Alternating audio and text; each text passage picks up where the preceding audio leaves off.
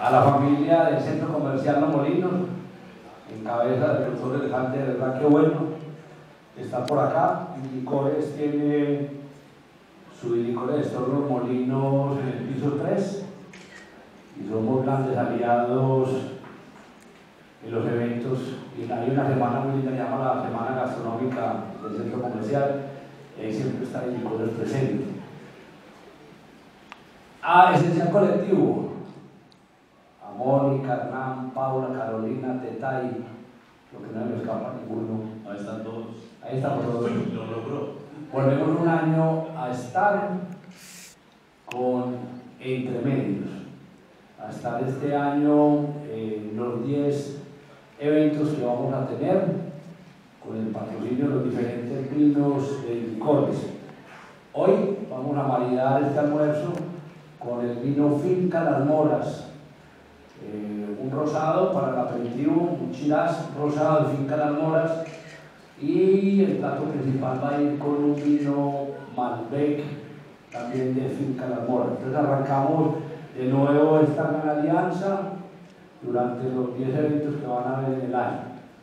Eh, solamente una informacióncita, acabamos de llegar de la convención de licores que hacía cuatro años no la hacíamos. ¿Dónde fue tú? En Cartagena, en las Américas. Eh, fue una, una, una, convención del área comercial. Estuvimos 300 de los 1.100 empleados que tienen licores actualmente en Colombia.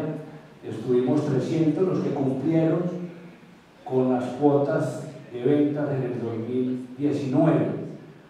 Eh, llegamos a a vender 531 mil millones de pesos el año pasado, con alrededor de eh, casi 15 mil clientes en Colombia. Hoy, este año, después de la reunión, nos fusionamos, entre comillas, con el grupo Diageo. Ya no va a estar más eh, sino que va a ser Licores Diageo en Colombia. La fusión empieza el primero de marzo en Bolívar y Antioquia. Después llegará el eje cafetero y Cundinamarca. Eh, así le estamos apostando a ser la empresa número uno en distribución de vinos y licores en América Latina.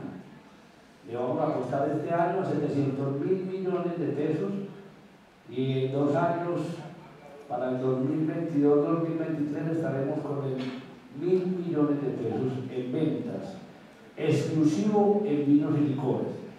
Hace un par de años, nosotros las noticias del portafolio de tabaco de Malboro lo entregamos, entregamos cuadra, entregamos a entregar las distribuciones de muchos productos y actualmente estamos dedicados a la distribución de vinos, que somos el número uno del mercado en Colombia, diario y nos acaban de entregar para Colombia en el canal Oreca, restaurantes, hoteles, el grupo Bavaria.